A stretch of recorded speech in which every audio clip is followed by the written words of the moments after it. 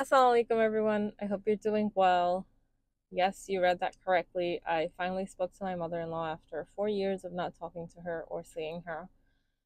And I don't really like to talk about this subject because it's a bit touchy and personal, but since I am anonymous on here and no one really knows me or my mother-in-law, I guess it's not really considered talking bad behind someone's back, hopefully.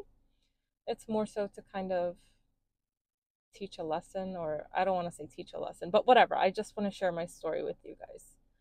Um so from the time I got married, I don't think my mother-in-law really like liked me or accepted me because I'm from a different cultural background than she is and because she didn't choose me or pick me herself. I think she didn't like that because she probably thought her whole life that she's raising her kids and when it's time for them to get married just like she's kind of, you know, been involved in every step of everything in their lives, she thought that she was going to be given that, I guess, responsibility or the power to just choose a wife for her son.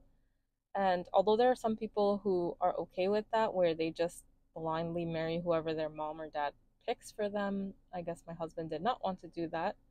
So, um, my mother in law did not like that, and she did not have an issue making it clear to me that she didn't like me. I mean, she would act nice to my face sometimes, um, but a lot of times her aggression would come out and she would actually yell at me. Um, she would boss me around all the time. We didn't live together either, but it was just crazy how she couldn't just be nice the few times we saw each other. Um, and I was I was a newlywed and I come from a very loving family. So for me, it was very hard to just get married and I moved across the country.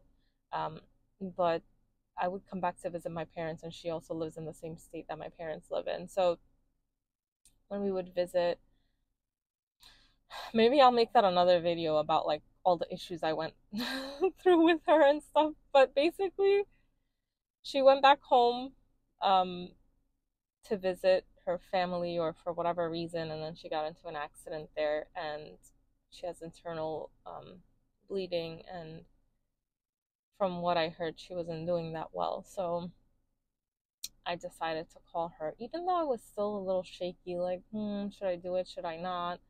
If I call her now, does this mean that she's gonna think everything went back to normal and she's just gonna continue to like try to control my life again or what? But I told myself, like, you know, what if God forbid something happens to her and she passes away now, or you never know what can happen. Um, I don't want to because I'm the type of person who will live with a guilty conscience. Even though I didn't do anything wrong, I don't think so. I would still feel bad about it because I'm just such a super nice person. So I decided to call her and I was kind of like shaky and my throat was dry and I was so scared, but I called her and I spoke to her and you know, it wasn't it wasn't as bad as I thought it was going to be. So I know I didn't go into all the details in this video of what we went through, what led to us not talking for years. If anyone's interested and wants to know, I can make another video on that. But it's just, you know, moms out there, when your kids are getting married, if they've proven themselves to you that they're responsible adults, that they know what they're doing, that they're on the right path in worldly matters and as well as their, you know, religious side, everything is good just trust your kids. I mean, it's not like my husband didn't ask for her input when he was looking for a wife. Like, he kept her involved. But I think she was still mad that at the end of the day, she didn't get to just choose a girl that she wanted and he didn't just go along with it.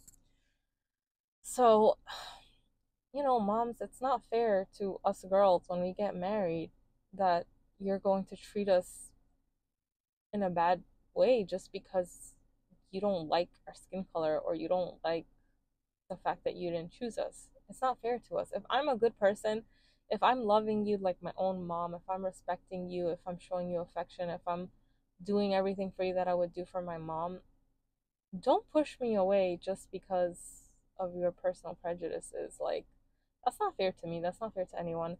So, you know, it got to the point where I was crying every day. I was crying all the time because I would call her. She wouldn't pick up my phone calls um, she would be mean to me and I would be complaining with my to my husband and it caused a lot of friction and tension in our marriage because I used to kind of punish him for what his mom was doing to me. And that's not his fault. And I knew that, but like I didn't know how to I couldn't stand up for myself. I, I, I didn't have the guts to just tell my mother in law, like, hey, what you're doing is wrong. Stop talking to me like that. Stop treating me like that. You know? So for me, I would just like suck it up and just deal with it when I was there in front of her. I mean, I even would cry in her house in the other room and stuff. And her idea of fixing that issue would be she would come in and yell at me and still question me on things like, why did you do this? Why didn't you come at this time? Why didn't you do that? I don't even know what to say.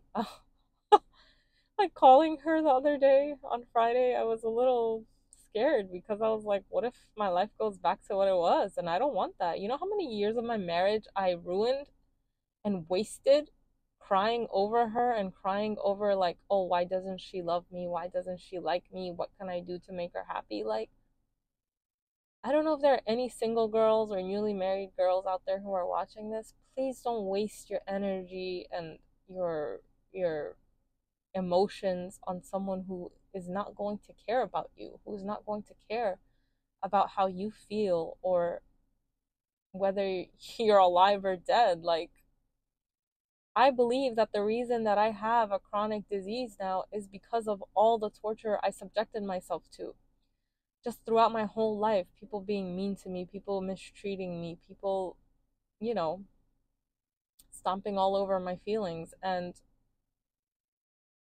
i wasn't brave enough to put an end to it. I wasn't brave enough to tell them not to treat me like that. And instead i would cry about it for days weeks months years. It would always be in the back of my head. Like even if i had a good time or i was like smiling or i was happy i'd be like oh she doesn't like me. Oh, like it would just pop up in the back of my head, like, oh, well, no matter what you do, you're never going to be good enough. You're never going to make this person happy. And because of her treating me that way, or whoever else, like whether it was my grandma or my aunts from my dad's side, I was always thinking that I wasn't good enough. So that's also, I mean, that's also why I think I have imposter syndrome. Like, I went through a rigorous program, I took three licensing exams. Um, within a span of four months, two of them within one month, and then the other national exam I took three months to study for. And I thought that I was wasting time because it took me four months. Meanwhile, there are other kids now who I see who are in the same program and now they've made it easier. I don't even want to get into that. But basically, now there are two licensing exams, and also there's no exam when you're applying to the school, there's no interview process. And there's this one girl, it's to be a year since she graduated and she only took one exam. There's another girl I know who's in a different field who has graduated for three years now and still hasn't gotten licensed. Um, and she only has to take one licensing exam.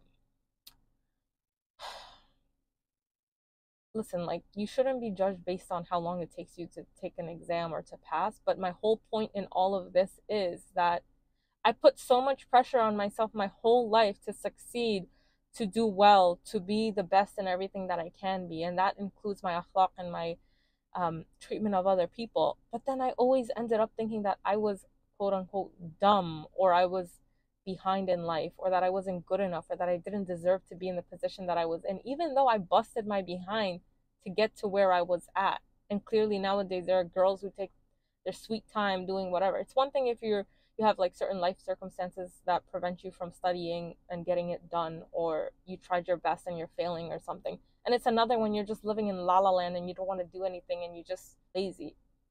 So i don't mean to you know be one of those people who like puts myself up and puts others down but i'm saying now when i'm actually stepping out and looking at all of this i'm like okay i was actually a hard worker. I was actually you know stressing myself out trying to get stuff done make something out of myself. But then as soon as I would start working, I kept having imposter syndrome, thinking that I was not supposed to be in this position, that I didn't deserve to have this job, that I somehow faked my way through. And I traced that back to like my upbringing. And I'm not saying my mom and my dad, my parents were great parents. I'm talking about like the other people around me, like my grandma and my aunts, and just being in a toxic environment and thinking that I'm not good enough, you know? And I still link that back to my mother in law as well. My mother in law, I'm not blaming her for like my imposter syndrome at work and stuff, but yes, her behavior and stuff, it did make things worse for me mentally because I kept thinking like, yeah, I really am not worth this person's love because no matter what I do, she doesn't like me. She's never gonna like me. Maybe there's something wrong with me. Maybe these other people are not the problem. I am the issue. That's why my grandma doesn't like me, my aunt doesn't like me, my mother in law doesn't like me. You know? And these things are not good. Like, dude, love your kids, love your grandkids, love your nieces and nephews, love your daughter in law, love your son in law, especially if they are respecting you and loving you and doing everything that they can for you. Don't push people away because once you push people past their breaking point, if they can't deal with it anymore, they'll do whatever it takes, even if that means that they have to stay away from you for four years until you have uh, a crazy accident and might potentially be on your deathbed. So I think this is just more therapy for me to get it off my chest. I'm sorry that this video was not coherent and I'm all over the place and I'm just venting at this point, but maybe someone else can relate to this. Maybe someone else is going through something like this. I just want you to know that you're not alone and that the sooner you realize that your health is more important, your sanity is more important, your emotional, physical well being is more important, the better off you'll be. Don't let anyone stomp on you. Don't let anyone make you feel inferior. And don't let anyone treat you like you are beneath them. Because no one is better than anyone except in piety. And only Allah knows who's better than others in piety, even. It's, it doesn't go by your outward appearance and how you appear to be practicing or not practicing. It's all up to Allah. So please, we need to work on our confidence. We need to work on our self esteem. And we need to know that we are all human beings and we are not worse or beneath anyone else. So don't let anyone make you feel that way. Hope you're all doing well. Talk to you soon. Assalamu alaikum.